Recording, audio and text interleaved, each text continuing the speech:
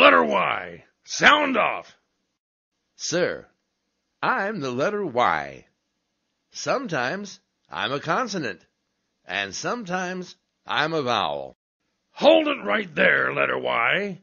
Sometimes you're a consonant, and sometimes you're a vowel. Explain that to me, letter Y.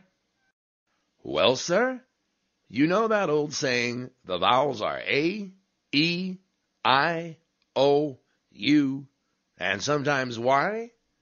Well, sometimes I'm the vowel. Like in the word my. M-Y spells my. M is the consonant, and Y is the vowel. The same goes for cry.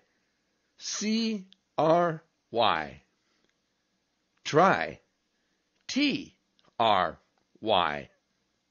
Fry. F R Y. So you're a Y that sounds like a long I? Yes, sir. But I can also sound like long E. Like in the word berry. B E R R Y. Berry. So exactly when are you a consonant, letter Y?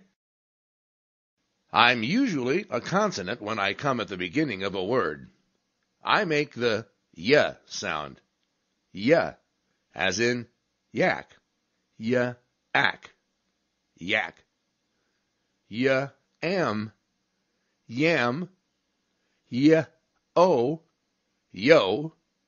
Y, odel. Yodel. Yodelay-o. Yodelay-o. At ease, little Y. Who told you to yodel? No one, sir. Then line up. Yes, yes, sir.